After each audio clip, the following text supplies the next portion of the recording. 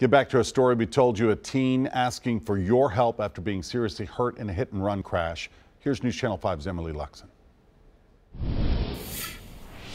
With her family by her side, Raven Settles is beginning her road to recovery after being hit by a car. I can barely move my left leg.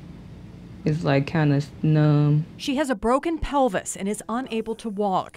The 18 year old is still haunted by the accident that nearly took her life. I just remember the black car, uh, like coming like full speed and they hit me. Last Thursday evening around 7, Raven was walking home from her job at Papa John's on Old Hickory Boulevard in Bellevue when she crossed the street by Regions Bank.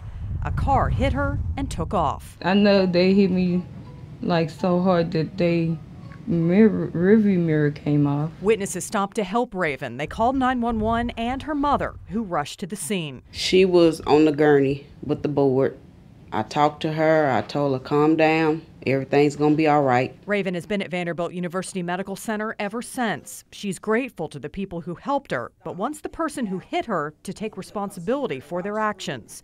In the meantime, she'll focus on getting better. I got a whole lot of supporters just helping me, like my family. That's what keep me, you know, motivated.